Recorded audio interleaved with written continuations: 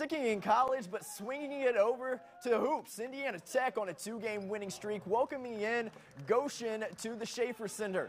Right at the start of this one, the pass inside to the junior, Rog Stein puts a little finesse on this lay-in, and number two has the first two points of the game. Still in the first half, how about Stein's passing? Drops it down low to Josh Klein, finds an opening on the inside. Double deuce is on the boards with two. Tech on a roll early. Stein again, cross court in the corner. Max Perez and the freshie extends it to a 10 0 run for the black and orange, and Warriors win 88 to 53.